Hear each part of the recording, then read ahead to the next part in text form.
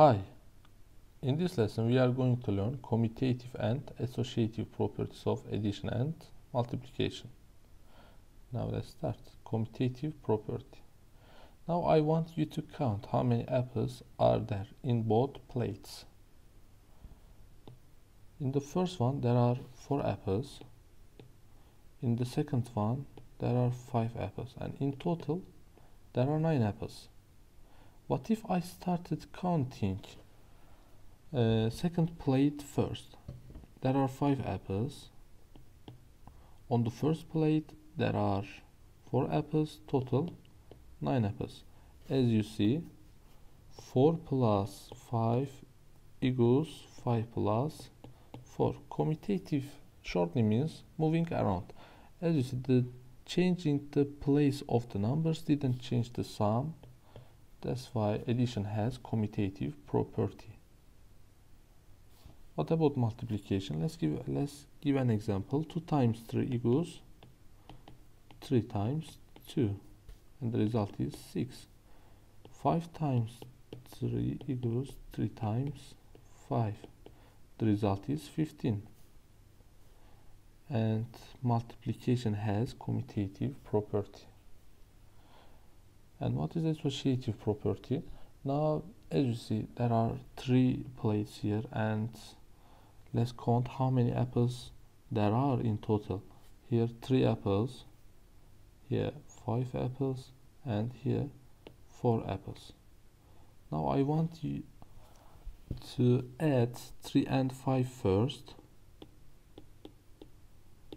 then 4 the result will be 8 plus 4 12 and what if I started adding the apples on the right?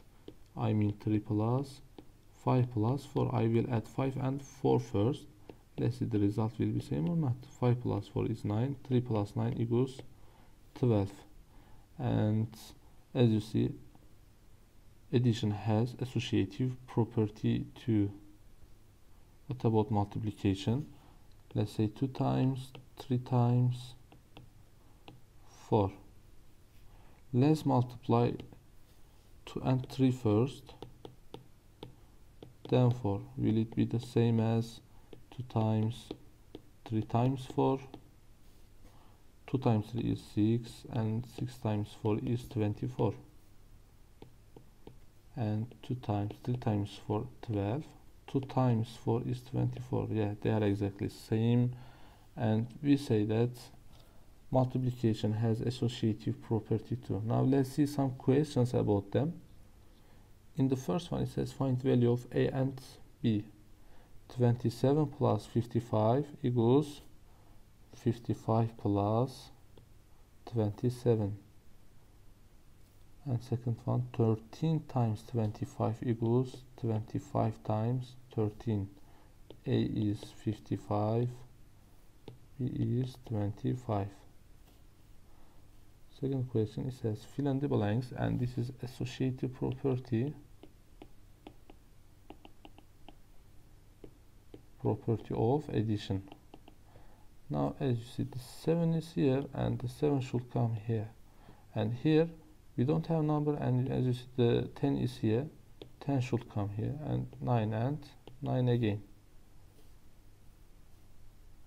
and associated property of multiplication and in the question it says find value of ABC 7 is here and A should be 7 12 is here and B should be 12 and 3 is here C should be 3 A is 7 B is 12 C is 3 and their sum is 3 plus 7 plus 12 it makes 22